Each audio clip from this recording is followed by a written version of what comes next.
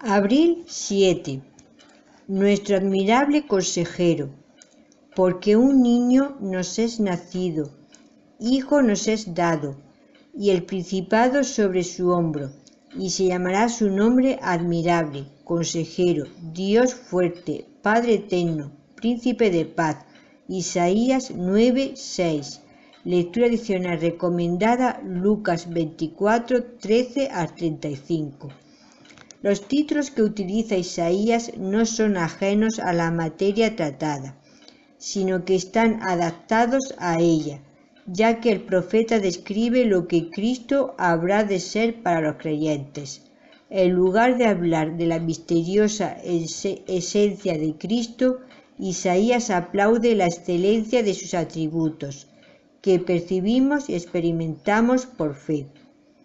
Debemos sopesar esto con suma atención, puesto que son muchos los que se dan por satisfechos con el mero nombre de Cristo y no ven su poder y su fuerza, que deberían gozar de la mayor consideración.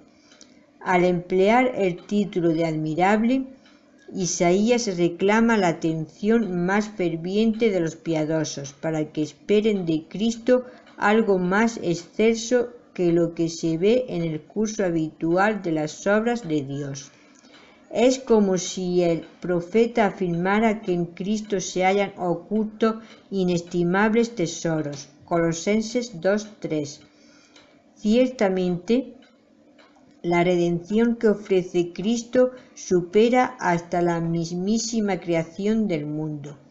La gracia de Dios que se manifestará en Cristo excede a todos los milagros.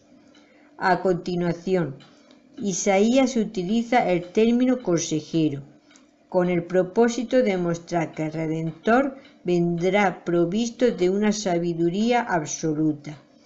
El profeta no razona aquí acerca de la esencia oculta de Cristo, sino del poder que Él nos muestra. El profeta no le califica de consejero porque conozca todos los secretos de su Padre, sino porque procede del seno de éste, Juan 1.18, y, por tanto, es el Maestro Supremo y Perfecto. De igual modo, no se nos permite alcanzar la sabiduría a partir de ninguna fuente que no sea el Evangelio. Considerar a Cristo consejero contribuye a ensalzar el Evangelio, puesto que nuestro consejero posee la sabiduría perfecta de Dios, tal como indica Pablo a menudo. 1 Corintios 1, 24, 30, Efesios 1, 17 y Colosenses 1, 9. Meditación. ¿De qué manera es Cristo admirable y consejero para nosotros en nuestro entendimiento limitado y lleno de pecado? ¿Cómo puede elevarnos por encima de nuestra condición pecadora para que le veamos en su gloria? Abril 7. La adoración congregacional está diseñada para confrontarte con el punto de vista de la vida centrada en la cruz de un hombre muerto y la tumba vacía de un hombre vivo. Hay dos temas de lo que he estado escribiendo y hablando una y otra vez. Los mencionaré de nuevo aquí. 1.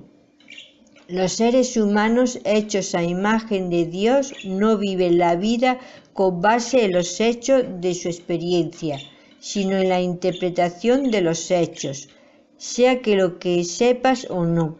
Fuiste diseñado por Dios para encontrarle sentido a las cosas.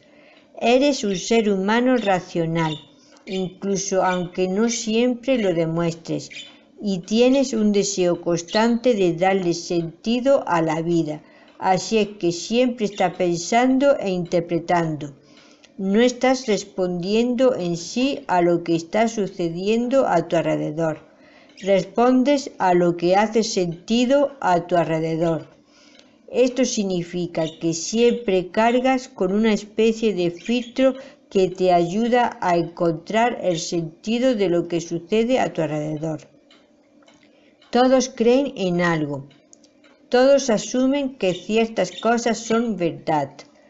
Todos tienen un sistema de conocimiento en sus vidas que les ayuda a explicar y entender el mundo.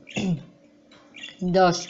No hay nadie más influyente en tu vida que tú, porque nadie habla contigo más que tú. Nunca dejamos de hablarnos a nosotros mismos. Estamos en una constante conversación con nosotros mismos sobre de Dios, sobre otros, sobre nosotros mismos, sobre el significado y propósito de la vida, sobre nuestra identidad, etc. Las cosas que te dices a ti mismo sobre Dios y la vida son profundamente importantes porque ellas forman y moldean la manera en que respondes a las cosas que Dios ha puesto en tu bandeja. Verás, siempre te estás predicando a ti mismo una clase de cosmovisión o una clase de evangelio. La pregunta es, ¿qué es lo que te estás diciendo a ti mismo? Pablo argumenta de manera profunda que el Evangelio de la cruz del hombre muerto y la tumba vacía del hombre vivo, del Señor Jesucristo, el cual el mundo ve como una absoluta locura, es, de hecho, lo más sabio. Es la única manera de poder encontrarle sentido a la vida.